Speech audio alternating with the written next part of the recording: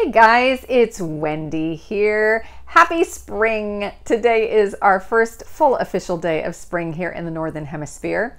And the equinoxes and solstices are big days where we have the opportunity to kind of reset our energy. And I asked the guides to sit down and chat just a little bit about the energies that we're moving through at the moment.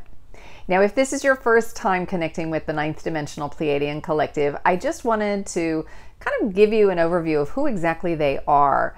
They are a group of about 2,500 beings of light. They don't have physical form, and they are actually working with you with tone and sound, which is why their dialect is different than my own. It's not any one particular dialect, it's just tones and sounds that they can modulate that resonate with you at a cellular level. So, without further ado, here is the ninth dimensional Pleiadian collective.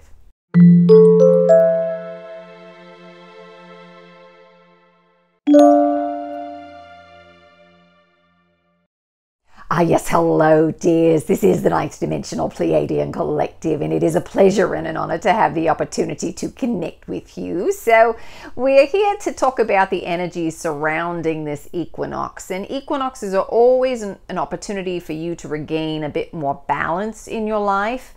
And this one is no different.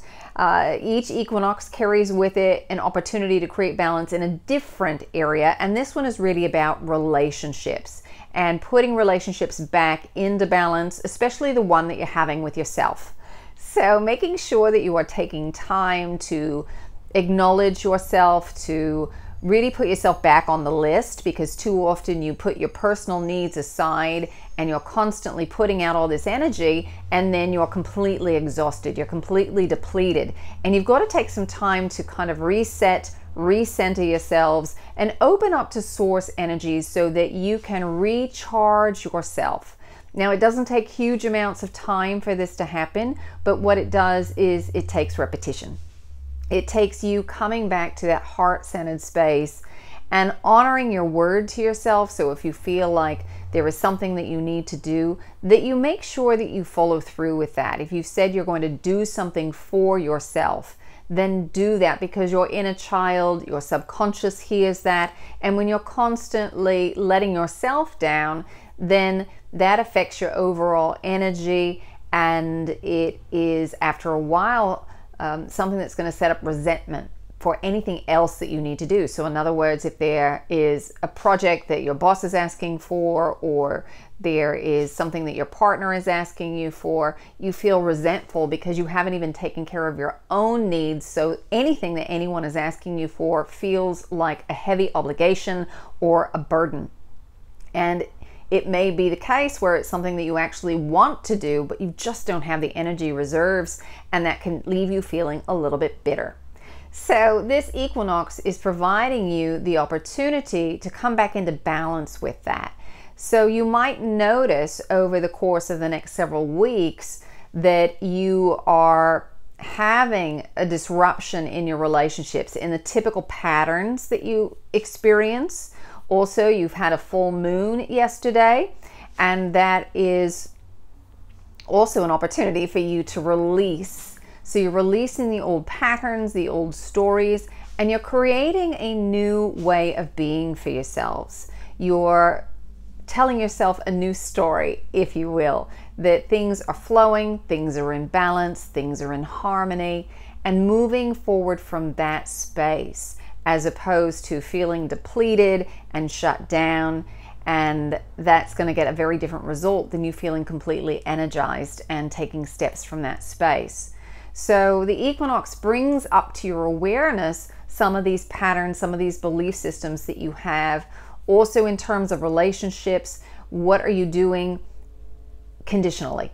What are you expecting conditionally uh, from your partner? So you will give love and appreciation only if you are given love and appreciation first or in return or you'll do something kind if it's acknowledged, if it is seen in a particular light. So there are conditions upon which you allow yourself to give and receive.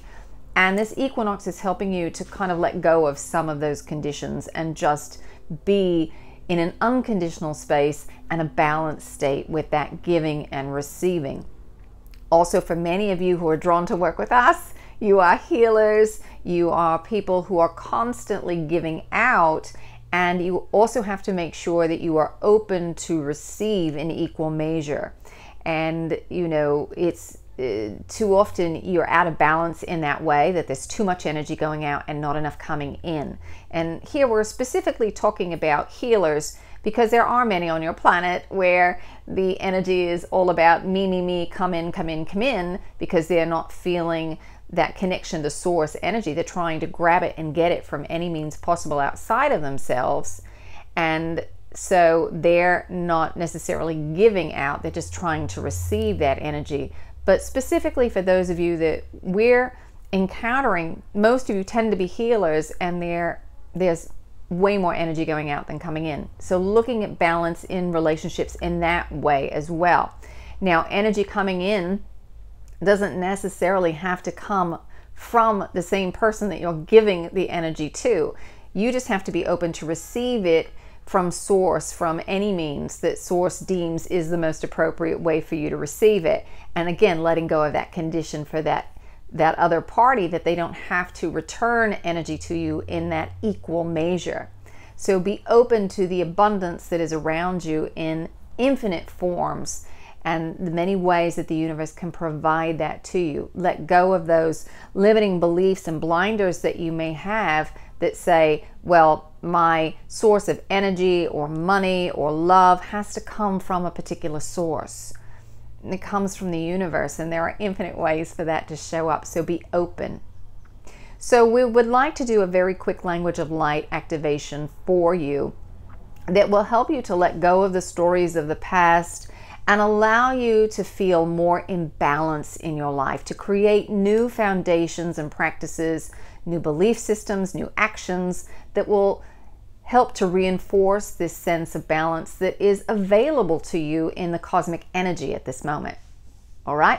So there's nothing that you need to know or do with the language of light. It's a bit like an attunement where we're pointing out a specific frequency as we're speaking source's language and that is allowing you to alter your own frequency to match that resonance. So think about it this way if someone has asked you to sing the note of C, for most of you it would be quite difficult for you to find that note, but if it's played on the piano, then you can easily sing it, you can reproduce it. And that's the same thing that's happening in your field. When you're presented with the frequency, it's easier for you to reproduce it and maintain it when it's pointed out to you.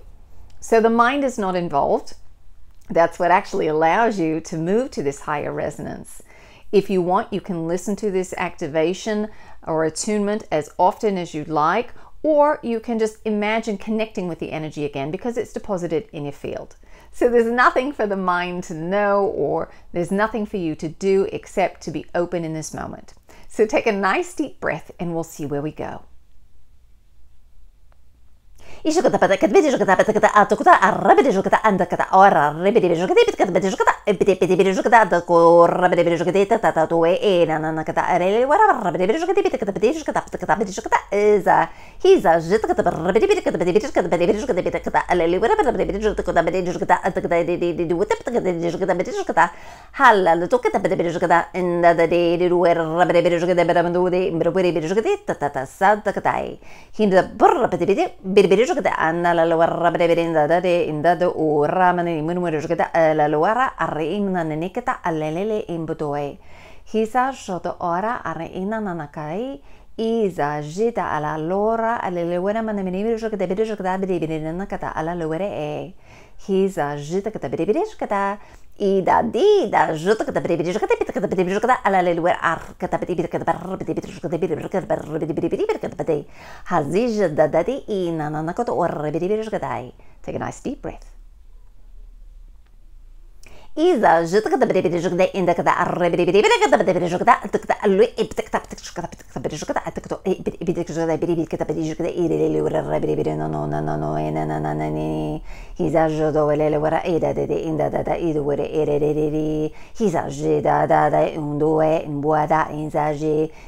إي إبتك على على إيه إي إي سا سي شتو تو تو إي إيه، All right, take another nice deep breath.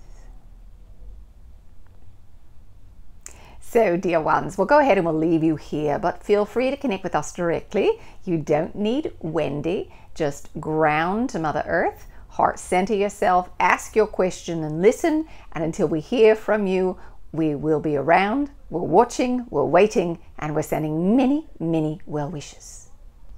Thanks so much for joining me today. If you like this video, please give it a thumbs up, a like, or share it. It just might help someone else who's going through a challenging time today. Thank you so much for joining me, and I look forward to connecting with you again soon. If you enjoyed working with this language of light activation, be sure to check out Galactic Light Code Monthly. You'll find more information over on our website at higherfrequencies.net thank you